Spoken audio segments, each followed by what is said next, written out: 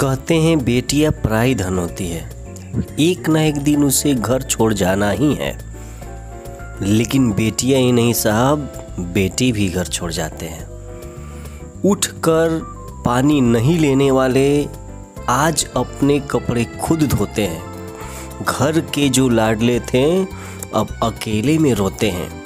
सिर्फ़ बेटियाँ ही नहीं साहब, बेटे भी घर छोड़ते हैं।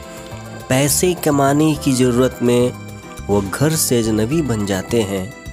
लड़कियाँ ही नहीं जनाब, लड़के भी घर छोड़ जाते हैं। बना बनाया खाने वाले आज खुद जले पके बनाकर खाते हैं। माँ बहन बीवी के हाथों का खाना अब वो कहाँ खा पाते हैं?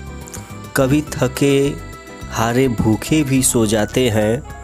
हम लड़के भी अब घर छोड़ जाते हैं।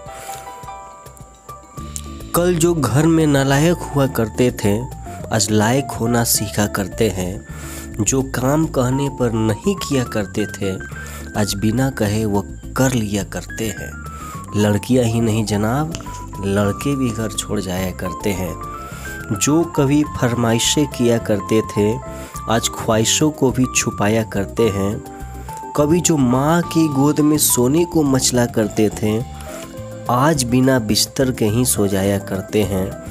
हाल चाल पूछने पर मौज में है कहा करते हैं, परेशानियों को भी अपने फ़ोन में ही छुपा लिया करते हैं।